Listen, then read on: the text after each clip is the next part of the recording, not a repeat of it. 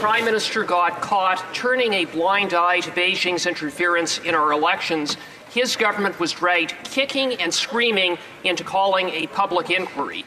I don't know why the news you're about to hear isn't resulting in shockwaves, but we're going to do our best today to bring more attention to the matter. The National Security and Intelligence Committee of Parliamentarians, which goes by the acronym NSICOP, was asked last year to investigate allegations of foreign interference in Canadian elections. They just published a very damning report on foreign interference. That report states some parliamentarians are wittingly helping foreign governments like China and India meddle in Canadian politics. Even more disturbing, the report singled out an unidentified former MP. According to CSIS, this MP had designs on setting up a working relationship with a senior intelligence official. Are you guys ready for this? In their attempts to establish that relationship, the mystery MP proactively provided the intelligence officer with information provided in confidence. The report also found the following frequent communications with foreign missions during a political campaign to obtain support from community groups or businesses,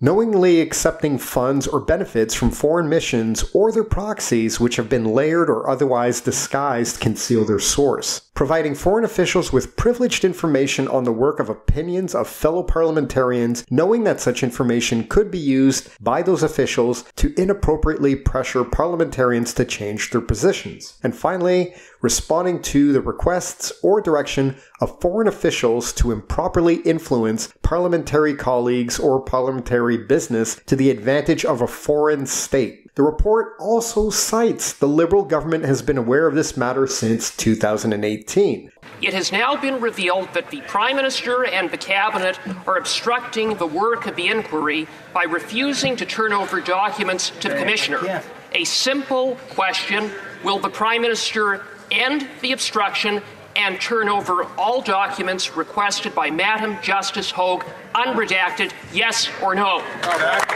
Just think of what kind of legal consequences the average Canadian would face for this kind of behavior, but no action will be taken. Why? Because Canada never implemented measures to punish the crime of sharing classified information with foreign interests. All this despite the fact that when MPs are sworn to office, they swear an oath against this very kind of behavior. Another statement that stood out from report is the following. The implications of this inaction include the undermining of democratic rights and fundamental freedoms of Canadians, the integrity and credibility of Canada's parliamentary process, and public trust in the policy decisions made by the government. So, my question to you is at what point will we finally start to feel outrage? What will it take for Canadians to stop voting corrupt liberals into power? Have your say in the comments. Thank you very much for watching.